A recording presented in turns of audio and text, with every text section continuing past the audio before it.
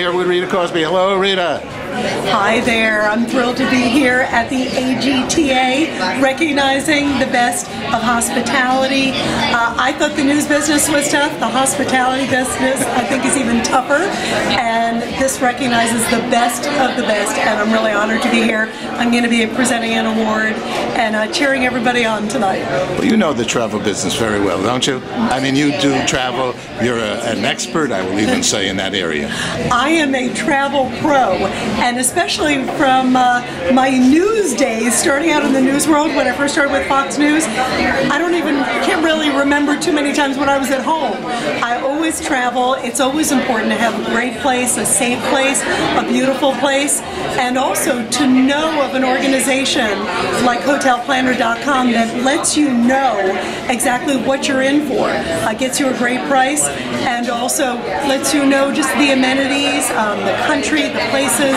Um, this is top notch, and I'm honored to be here and be a part of it. All right, Rita, let's go over here. We're going to move. I'm going to videotape moving. you This is a moving because. Uh, we're going to we're going to because I'm going to ask you two last questions over Sure, here. sure. We got ABC behind you now, and uh, and you know this radio and uh, television industry for so long.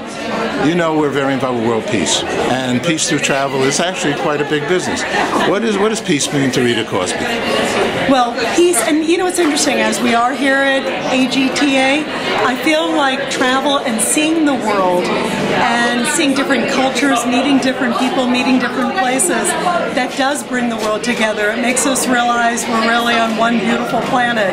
And to me, this really epitomizes why we're here today and epitomizes peace, epitomizes um, prosperity of the heart, and also this organization, by the way, Tim Hentschel, who's the CEO and one of the co-founders of HotelPlanner.com, talk about giving back and talk about good news. Um, does so much for St. Jude, does so much for the military, and uh, is truly one of these guys who's not just an entrepreneur and a CEO. This is a guy who gives back and knows what really matters. We love it. Last question about love. We started a love channel.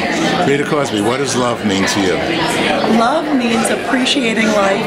Uh, I think the excitement that you get in travel, the excitement that you get in meeting new people, uh, the excitement of, uh, of a higher power, all of that together is love and making a difference. And I think that's what life and love is about. Thank you, Rita. Thank you.